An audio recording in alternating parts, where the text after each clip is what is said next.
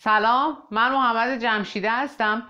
احتمالا همه شما از این مکعبهای روبیک داشتید و تلاش کردید که اون را حل کنید. من توی کانالم آموزش انواع روبیک از ساده ترین روش تا پیشرفته ترین روش را بهتون میدم و در مورد موضوعات جالبی که در مورد روبیک هست ویدیو می‌سازم. اگر دوست داشتید می‌تونید از طریق این دکمه قرمز پایین صفحه کانال منو subscribe کنید.